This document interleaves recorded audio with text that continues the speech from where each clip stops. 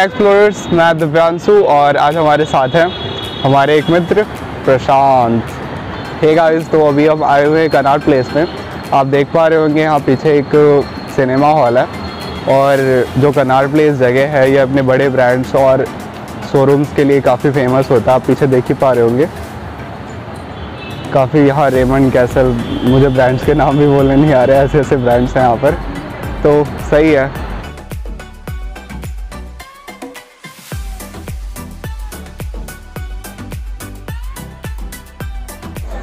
Hey guys तो हम आए हैं पालिका बाज़ार।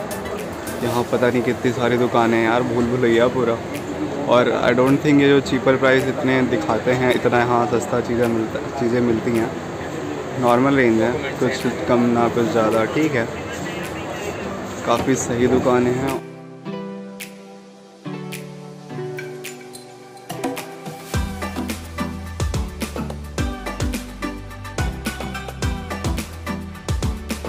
जीन्स यहाँ पर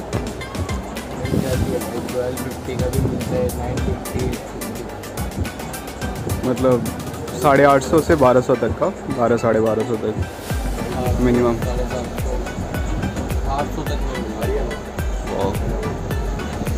jeans Dolce Gabbana branded चीज़ें भी हैं यहाँ पर।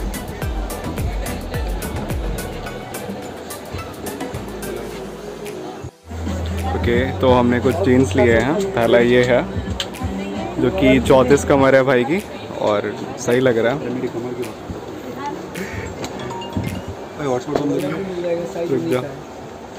और ये दूसरा जीन्स वो काफ़ी सही शॉप है यार। प्राइस भी रिजनेबल लगा दी और बढ़िया सामान भी है। जीन्स काफ़ी बढ़िया लग रही हैं।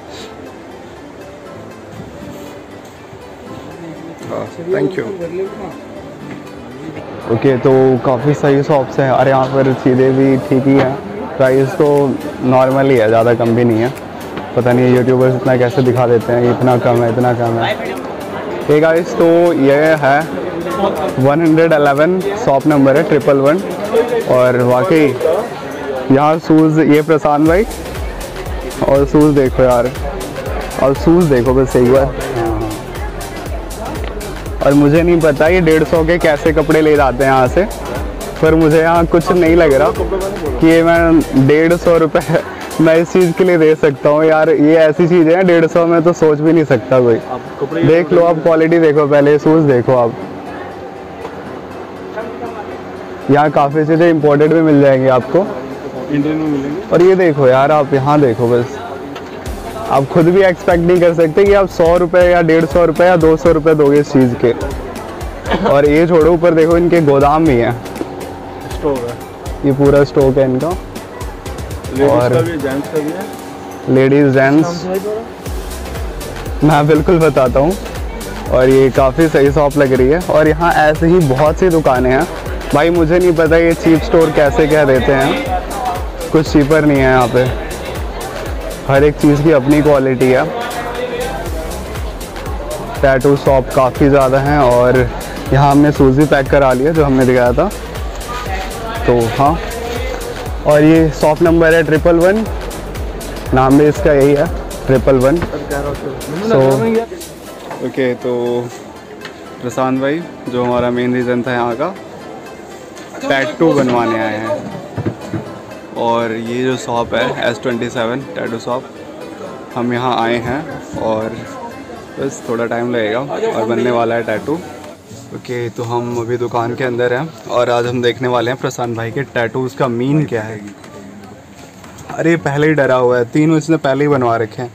देखा, जो आप पहला देख सकते हो, ये माँ पापा के ऊपर है, उनके नाम है, जो कि काफ़ी सही लग रहा है। और जो सेकंड है पता नहीं क्या है। क्या है ये?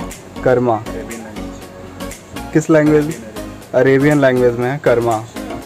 वो पहले ही फटी पड़ी है इसकी। अभी टैटू सुर भी नहीं हुआ है। और जो थर्ड वन है ये स्केलेटन है। क्या है ये? स्केलेटन रोज फायर प्लेन्स भाई क्या? प्लेन्स नहीं फ्लेम्स ओके फ्लेम्स मेरे समझ में नहीं आ रहा। देख रहे हो मतलब। वाह। जिगरा चाहिए होता है टैटू बनवाने के लिए। और ये अभी से रोने लगा है। कोई नहीं, देखते हैं क्या क्या होता है। गाइस तो हम आए हैं टी शर्ट लेने के लिए। और आप देख सकते हो प्राइस रेंजेस काफ़ी सही हैं। यहाँ पर और ये प्रशांत भाई ने दो टी शर्ट लिए हुए हैं पहले से ही। और ये तीसरा भी पैक हो गया। वो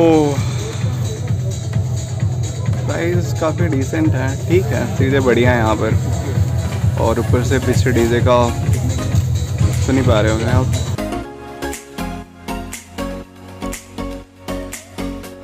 तो ये प्रशांत ने अपनी ईयरिंग चेंज करवाई है। वो सही लग रहा है। सही लग रही है। हाँ। एक्सप्लोरर्स तो मैं हूँ यहाँ पर सेंट्रल पार्क के जस्ट सामने। अभी हम पालिका बाज़ार से बाहर निकले। और आप जानते होंगे कनाड प्लेस के बारे में जो सर एडवर्ड लुटेंस थे न्यू दिल्ली के संस्थापक कहे जाते हैं। सॉरी फॉर इंटरप्शन एक्चुअली पालिका बाज़ार में भी वीडियो बनानी नहीं थी वहाँ पे मना कर दिया था इसलिए पालिका नहीं दिखा पाए। बाकी आप बाहर कहीं करना प्लेस को दिखा दिया। कंटिन्यू नहीं दिखा पाया यार पालिका बाज़ार ठीक से। ये थोड़ा सा सिक्योरिटी रीज़न है या फिर कुछ यूट्यूबर्स कुछ ज़्यादा ही चीप बता देते हैं पालिका बाज़ार को इसीलिए हम ब्लॉगिंग मना ही कर दिया। इतना भी चीप नहीं है यार नॉर्मल प्राइस रेंज है उतना भी यूट्यूबर चीप है। कुछ यूट्यूबर्स चीप हैं ये कह सकते हैं। हाँ खैर तो मैं बता देख लो व्लॉगर्स क्या बोल रहा है। मैं चीप नहीं हूँ। वेल ये जो कनाट प्लेस है सर एडवर्ड लुटियंस जो न्यू दिल्ली के संस्थापक थे उनका ये जो कनाट प्लेस था ना मेन फाइनेंशियल या फिर कमर्शियल जो भी कहो बिज़नेस का बस एक सेंटर बनाना चाहते थे, न्यू दिल्ली। और जो वाकई है, आप यहाँ पर देख ही सकते हैं बड़े बड़े ब्रांड्स हैं शोरूम्स वगैरह। इसके साथ ही यहाँ पर बाज़ार भी लगता है। और यार, सबसे अजीब सी चीज़ या शायद, क्या ही बताऊँ?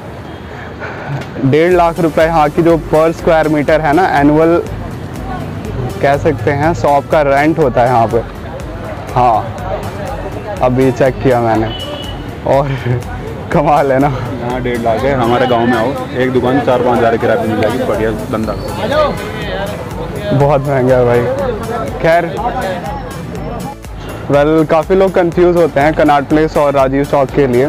तो मैं बता दूँ, इसका जो नाम है 1929 में, जब इसकी कंस्ट्रक्शन स्टार्ट हुई थी, तब सर एडवर्ड लुटेंस ने इसका नाम जो रखा था कनाट प्लेस जो प्रिंस आर्थर थे, उनके सम्मान में क्योंकि जो प्रिंस आर्थर थे, आयरलैंड में एक जगह है कनाट करके, वहाँ के ड्यूक थे। तो इस जगह का नाम भी कनाट प्लेस रखा गया।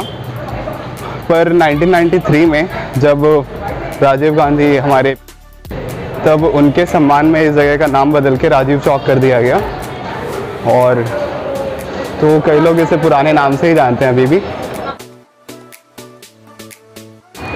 सो है welcome to my new blog और आज हम आए कनाट प्लेस घूमने मैं आया हूँ, मेरा एक दोस्त है फ्रेंड दिव्यांशु बड़ा पर कोई बात नहीं इतने चाहिए अपनी ज़िंदगी में भी।